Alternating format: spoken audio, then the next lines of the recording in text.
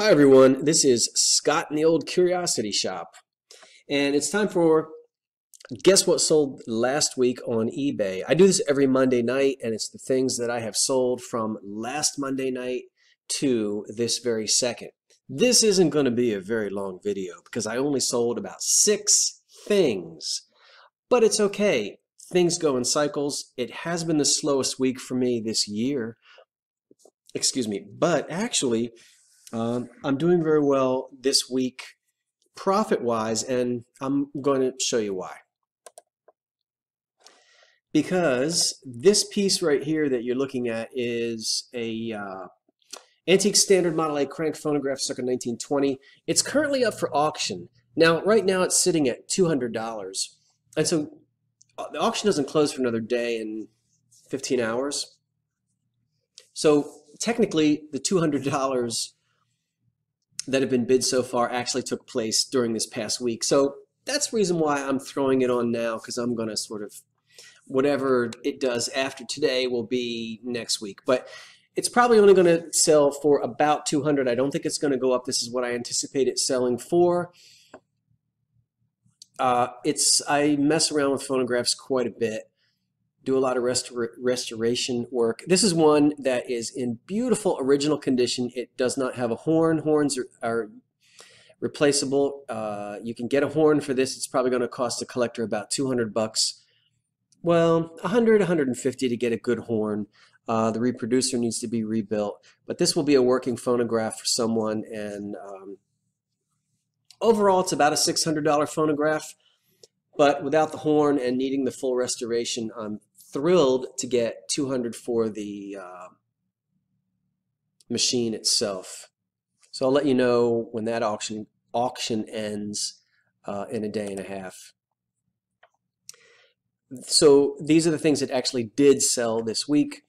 A 1950s chenille Christmas Santa with nervous arms. He has his he has uh, jiggly arms when you shake him.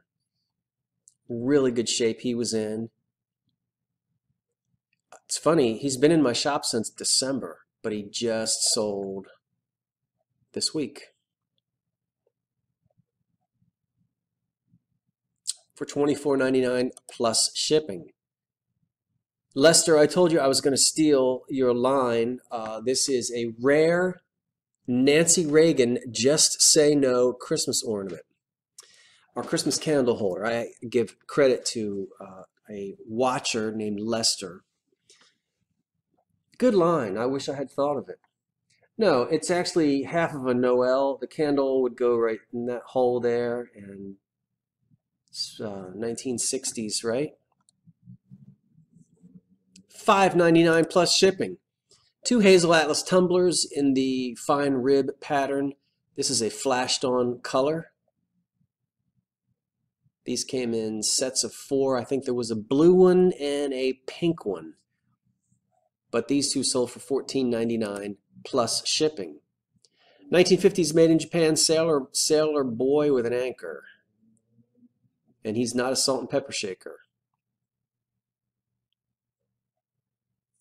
And he sold for $6.99 plus shipping. A 1960s tea aluminum tea can tea canister. Sorry folks, I am tired and I've got a cracker stuck in my throat somewhere.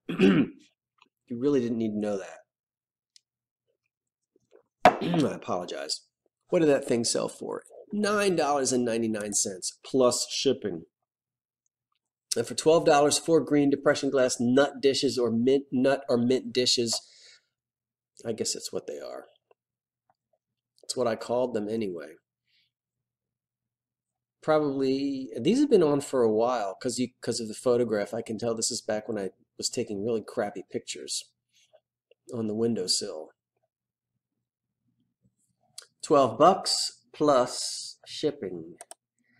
And this just sold today. A uh, This was the uh, 20 pieces children's piece made in Japan tea set.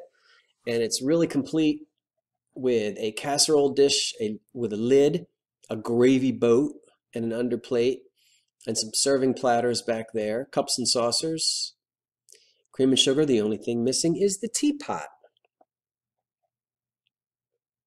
And I was surprised at the quality of this, just how well it was made for a, you know, a made a cheap made in Japan set.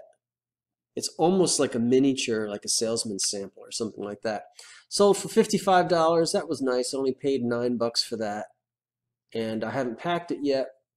It's going to take me a little bit, but they did pay $15 shipping. So that's it. I will let you know next week what happens with this. But again, I anticipate that it's probably going to close at right about, it might go up a little bit more, but it's probably going to close for 200. The little phonograph. Okay, folks. This is Scott from the Old Curiosity Shop saying thanks for watching. Have a great week, everyone. So long for now.